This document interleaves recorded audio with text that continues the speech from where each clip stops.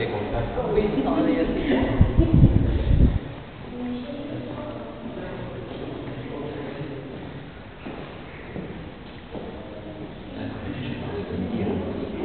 Ça bouge là.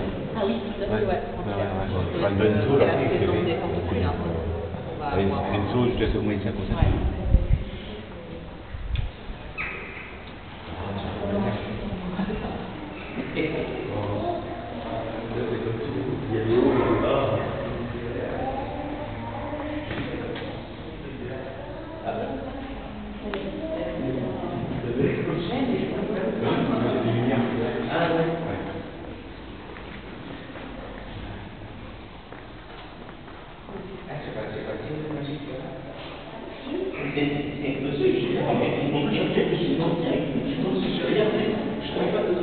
la veste noire.